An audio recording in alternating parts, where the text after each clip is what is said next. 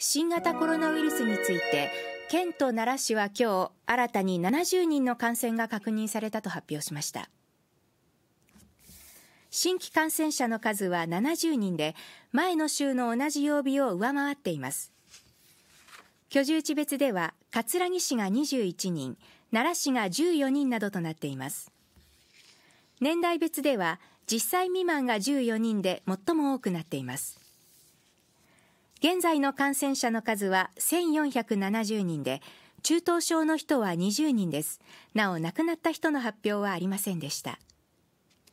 病床の使用率です。入院病床全体では11%宿泊療養室では7%です。